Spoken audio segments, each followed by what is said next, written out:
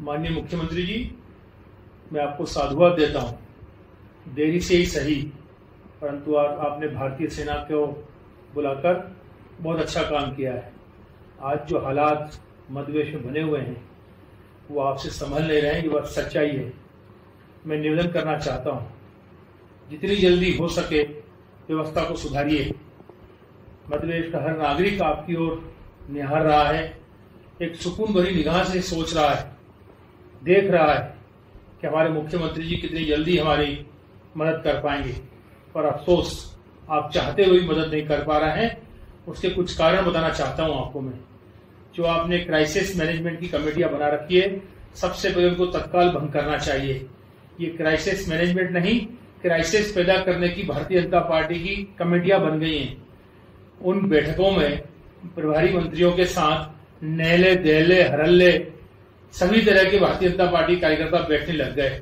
न जिनकी सोच है, न जिनका विचार है, न जिनमें विजन है, वो क्या कवर करेंगे? इस राजनीतिक भूख ने, इस सत्ता की भूख ने इनको अंधा कर दिया है। लोग मरे जा रहे हैं। व्यवस्थाओं में कितना बिगाड़ा आ गया है। इन्हें कोई परवाह नहीं, इन्हें केवल अपने फोटोबाजी से मतलब है। इवेंट्स किए जा रहे हैं।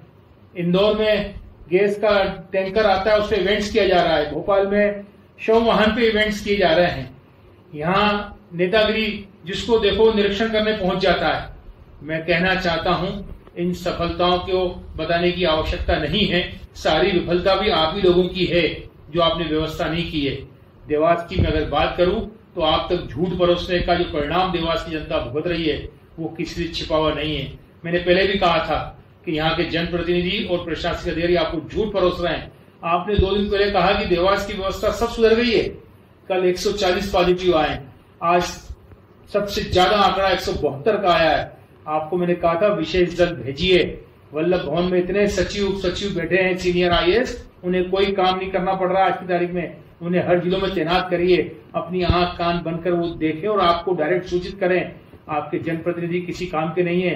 उन्हें तो अपनी नेतागिरी से फुर्सत नहीं मिल रही है। तत्काल सारी व्यवस्था संभालिए। अभी भी कह रहा हूँ समझ जाइए, वरना जनता आपको कहीं का नहीं छोड़ेगी। विधायक निधि, सांसद निधि, तत्काल पूरी जब्त करके आप पूरे कोविड में लगाइएगा। काहे किसी का इंतज़ार कर रहे हैं? आपको पूरा अधिकार है कैबिनेट में। दो दो करोड़ रुपए जो आप विधायकों को देते हैं जो जो राशि सांसदों को मिलती है, वो सारी की सारी राशि आप कोविड में खर्च करने का अधिकार ले लीजिए। मैं पुनः आपसे हाथ जोड़ के विनंती करना चाहता हूँ, माननीय मुख्यमंत्री जी देवास के हाल देख लीजिए। रोज पंद्रह से बीस डेथ हो रही है। आपके यहाँ सरकारी आंकड़े मुश्किल से एक या दो बताते हैं। ऐसा कहर कहीं देखने को नहीं मिला है। मैं फिर कहना चाहता हूँ कि इन जनप्रतिनिधियों के भरोसे मत रहना, जो झूठी वाहवाही लूटना चाहते हैं, आपको झूठा साबित करना चाहते हैं। आके आप खुद स्वयं अपने प्रतिनिधियों को भेजिए और देखिए हालात क्या हैं। देवास में न कोई इंजेक्शन है, न बेड है, न डॉक्टर है। हमारी सारी व्यवस्थाएँ चरमरा गई है कोलैप्स हो गया सिस्टम मैं अंत में निवेदन करना चाहता हूँ। मैंने पहले भी सेना को आमंत्रित करने की बात आपसे कही थी, आज पुनः दोहराता हूँ मैं। इमरजेंसी लगाइएगा मध्यप्रदेश के अंदर। हेल्थ इमरजेंसी जिसके ऊपर किसी भी नेता का रोब नहीं चले, सब सिस्टमेटिक काम हो। ऐसा कुछ चमत्कार करिए, जिसमें आपका हिंदुस्तान में नाम हो। हेल्थ इमरजेंसी लगाकर आप ये काम कर सकते हैं, माननीय मुख्यमंत्री जी, जिसकी आज सतत आवश्यकता है। जो इमरजेंसी जब लगेगी तो उच्च अधिकारी को पावर मिलेंगे और वो निश्चित रूप से ऑक्सीजन की आपूर्ति करेंगे बेड की आपूर्ति करेंगे डॉक्टरों की करेंगे इंजेक्शन टेबलेट की आपूर्ति कर पाएँगे और व्यवस्थित काम चल पाएगा। मैं आपसे हाथ जोड़ के विनती करता हूँ, जितनी जल्दी हो सके हम सब मधवेश वासियों की रक्षा करें, ये आपका दायित्व भी बनता है मुख्यमंत्री जी। बहुत बहुत धन्यवाद।